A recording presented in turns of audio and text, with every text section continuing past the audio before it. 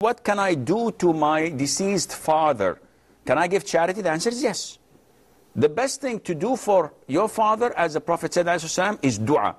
When a man dies, his work is interrupted except for three things. Among them is a righteous offspring who would make dua for him. So if you do this for your uh, parent, that would be the best. You can give charity.